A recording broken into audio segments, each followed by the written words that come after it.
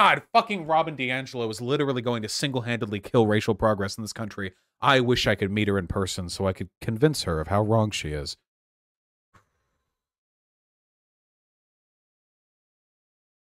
In Roblox, I will literally go to her office and like harass her in a non illegal way, in a legal way. Like I'll yell at her until the